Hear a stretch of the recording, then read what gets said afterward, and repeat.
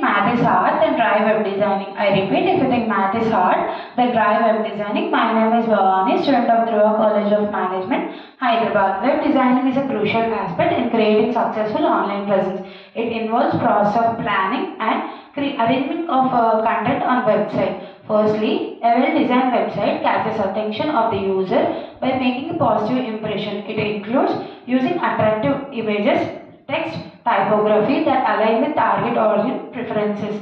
Secondly, a professional web designer always focuses on accessibility of the website to ensure and enhance user satisfaction by reducing loading times so that the user doesn't get frustrated and navigate away. Call to action. Clear navigation menu, well structured content all plays an essential role for user smooth user experience. Thirdly, in era of multiple devices and screen sizes, designing a website that is compatible for devices regardless of what uh, screen resolutions they are using plays an important role. In conclusion, the layout determines how the data or content is organized on a website.